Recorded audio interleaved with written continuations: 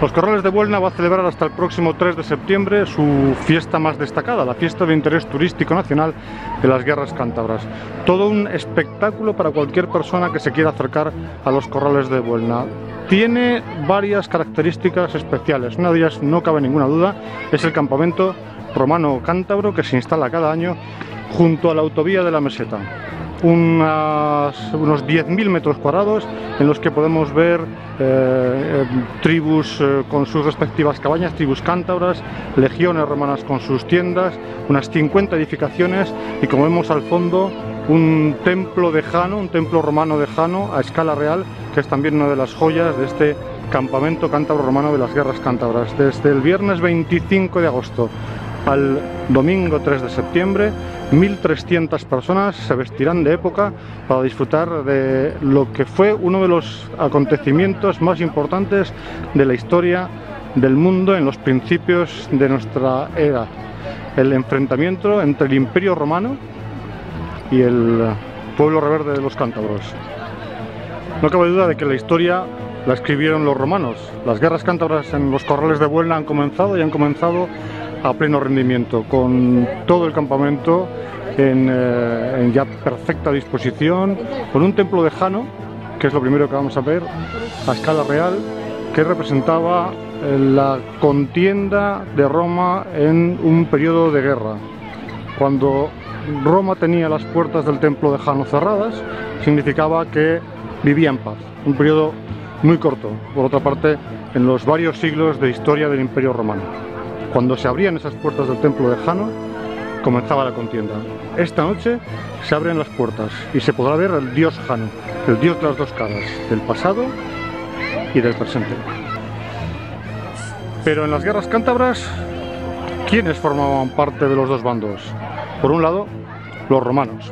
Mucho se habla del imperio romano, pero en realidad el primer emperador fue Octavio Augusto, el hombre que participó de lleno en las guerras cántabras. Había tomado el relevo de Julio César, había vengado a, las personas que le habían matado, incluso había vengado una gran ofrenda, eh, afrenta que eh, sufrió el Imperio Romano, que fue la traición de Marco Antonio con Cleopatra. A partir de ahí, en el 27 a.C., fue nombrado emperador, el primer emperador de Roma.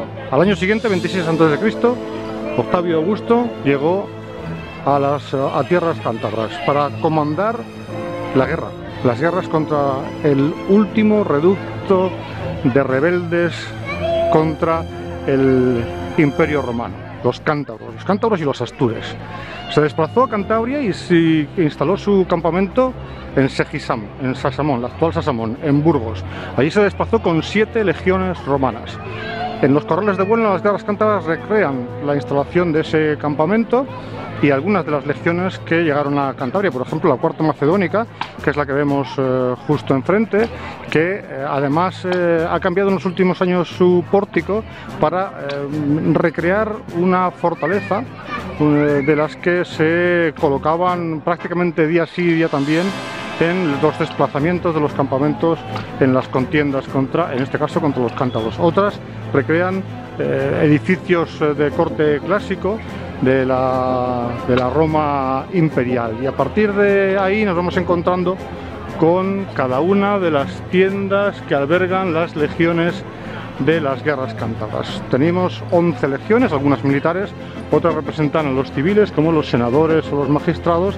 También tenemos eh, una, formación religiosa como los adoradores de Jano y eh, un grupo de, luchadores por su vida, de gladiadores, que también participa en las guerras cántabras. Ellos eh, vienen a ser un poco todo lo que un campamento romano tenía, todo lo que le integraba, porque había, eh, evidentemente había personas que luchaban por Roma por dinero, no por, no por pertenecer a ninguna legión en concreto. Y siempre, siempre llevaban consigo eh, personas que se encargaban de los augurios, por ejemplo, los adoradores de Jano. Como hemos visto, está la tienda de los adoradores de Jano, justo está enfrente de el templo de Jano. Por un lado los romanos, por el otro los cántabros. ¿Quiénes eran los cántabros? La verdad es que, eh, a pesar de que la historia habla de un pueblo bárbaro del que apenas se sabía nada, los cántabros eran ya muy conocidos en la época del Imperio Romano, que hemos visto que comenzaba precisamente con las guerras cántabras.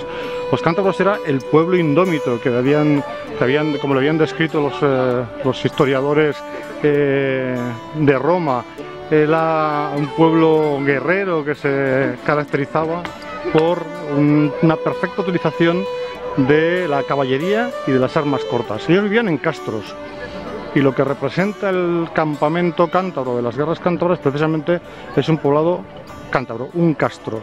Eh, generalmente eran viviendas de formación circular, eh, eh, normalmente estaban más que de paja rodeadas de, de piedra, como muestran los vestigios que todavía tenemos muy cercano en esta zona, y eh, se montaban sobre todo en eh, formación circular para una más fácil y mejor defensa. En eh, los corrales tenemos 13 formaciones, 13 tribus cántabras, cada una representa uno de los pueblos que eh, los pocos vestigios históricos que hablan del pueblo cántabro han marcado.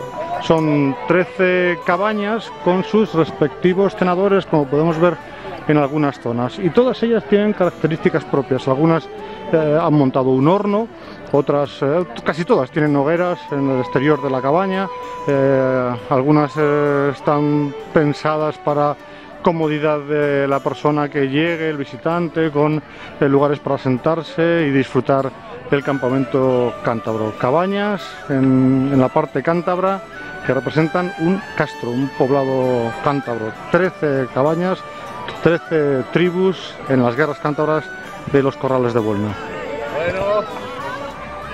Pues esto es lo que ofrecemos en los corrales de Buelna. Este campamento, cántabro y romano, un circo máximo con 3.000 gradas para que podamos ver unas 50 representaciones teatrales sentados y cómodos, zonas de aparcamiento y sobre todo mucha y buena fiesta. Hasta el 3 de septiembre les invitamos a que visiten los corrales de Buelna, este campamento cántabro romano que seguro que ha dado las delicias de los mayores y de los pequeños. Disfruten de los corrales de Buelna. Vengan, todos son comodidades, lo aseguro. No van a tener problemas de aparcamiento y van a disfrutar de esta fiesta de interés turístico nacional desde el año 2008. Les esperamos.